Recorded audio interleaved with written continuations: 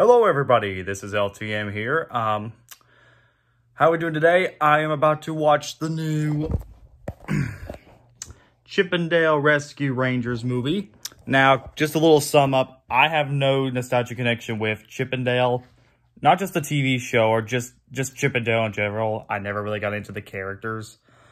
Um, the only thing closest that I do remember was the Donald Duck cartoons, but that's about it. Um, uh, Rescue Rangers, I heard from what I can gather, is a Roger Rabbit style movie that uh, that's been in development for a while now, and um, it's one of those CG hybrids. And judging by the good reviews, I was really shocked at how high the rating was.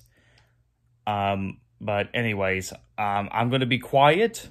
I am going to start the movie right now, and then, like always, I will give you all my thoughts, and I will be right back.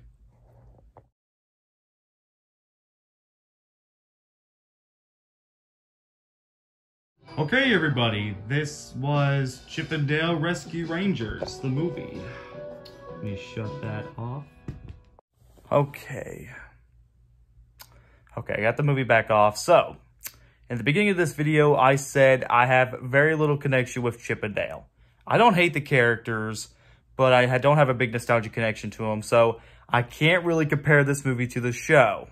However, I am really convinced that the people who were making this actually at least knew what they were doing because, buddy, this film, I loved it, okay? It was, it was nuts. This was really fun. I had a fun time with it. It was really funny. I didn't know where it was going to go. I thought it had a great, well, the story I'm a little mixed on, but I'll get to that in a minute. Um, so the movie, um, you got Chip 'n Dale, uh, played by John Mulaney and Andy Samberg, who are basically starting a TV show in the late 80s, early 90s called Chip 'n Dale Rescue Rangers. Well, once the show was canceled, Chip 'n Dale split up, and then 20, 30 years later, uh, Dale says, hey, I wonder how Chip is doing. And they reunite, and Dale wants to make a reboot. However, uh, cartoon characters like Hungry Jack and uh, a few others were kidnapped. So it's up to Chip and Dale to solve the mystery of who um, um, who kidnapped uh, Jack and a few of the other Disney characters.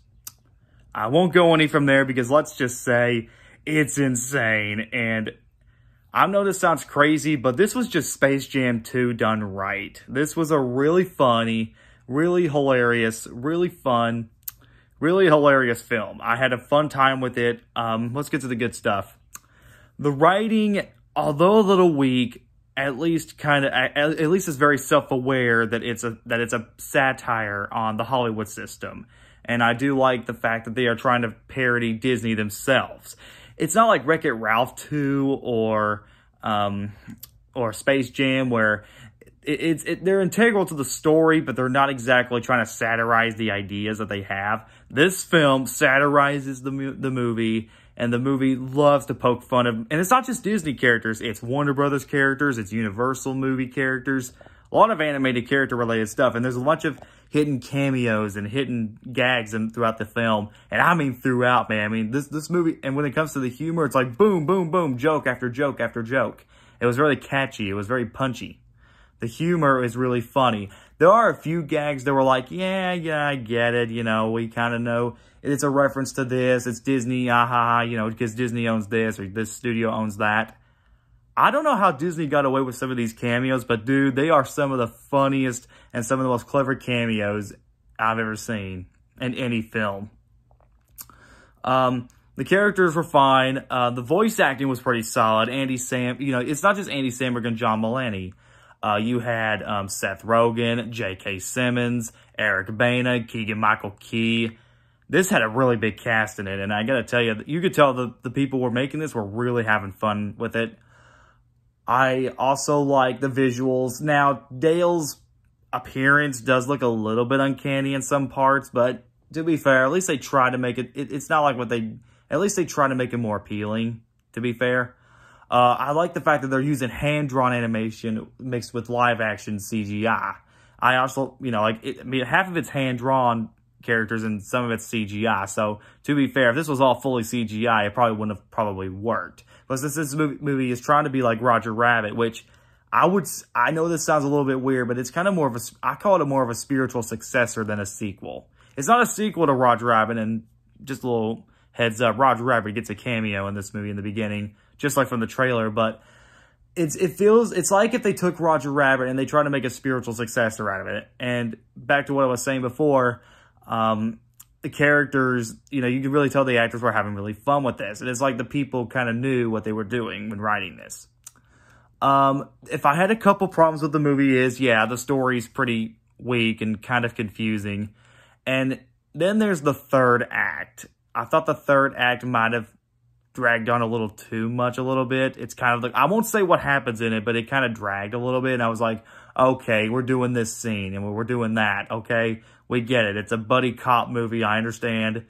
Let's just end the movie already. And to be fair, that's that's just one nitpick. Um, the movie was really good. I had I had a blast with it. Is a great? No. Though I hope this movie doesn't influence a lot of other movies. I mean, this movie was influenced by movies like Ready Player One and the Lego Movie, which that's the reason why we have movies like this now. But I think what I'm a little concerned about is that when movies try to follow this sort of trend and and what other movies try to do the same thing, they turn they turn into stinkers. Which also, by the way, this movie mocks a lot of mockbusters too. So yeah, they were really self, Disney was pretty self-aware with this film. So overall, had a blast with it. If you haven't seen it, go watch it on Disney+. Plus. I feel bad because I know this is one of the few Disney films I kind of missed being on the big screen. And this didn't get a theatrical release. So then again, I got a lot of people saying that they wanted me to watch this. So I'm glad I did. So I give Chip 'n Dale Rescue Rangers a 7 out of 10. Despite the third act and some the weak and confusing story, I really recommend going to check this film out. If you love animation, if you love Disney, if if you love movies in general, if you love just comedic classics, buddy cop movies in general, you'll get a dig out of this movie. All right, guys, that's Chip 'n Dale Rescue Rangers. Um, please subscribe, comment below, let me know. Hope you all enjoyed this video. I'll see you guys next time.